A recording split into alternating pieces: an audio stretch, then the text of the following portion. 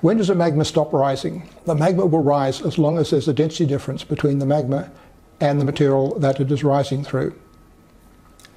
So the, mag the, magma will rise out of the mantle because the magma is always lighter than the mantle and it rises into the crust and it still continues to rise because the magma is initially lighter than the crust that it is rising through. But there's a very strong density gradient within the crust. So as, as you go higher in the crust, the crust gets lighter. And it gets lighter because the pressure is lower, allowing, allowing lower, denser rocks to be stable. And the magmas rise until they reach their neutral buoyancy, which is usually the bottom of the first sedimentary layer in the crust.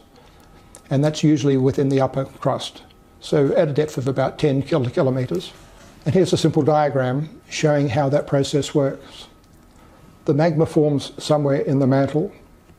It's driven out of the mantle by the buoyancy difference between the magma and the crust. It rises up to the mantle, mantle crust boundary, but it still continues to rise because the lower crust is, is very dense and it's denser than the magma. And the magma continues to rise until it reaches some point in, in, in the upper crust where, where it reaches its neutral buoyancy level. At that point, it spreads out to form a magma chamber, and the magma starts to crystallize in that magma chamber.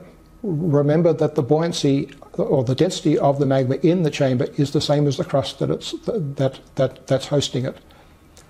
As the magma crystallizes, its water content increases, and water is very light. And so the density of the magma increases, and eventually the, de the density of the magma increases sufficiently that it gets enough buoyancy to break the overlying crust and rise to the surface to form a volcano.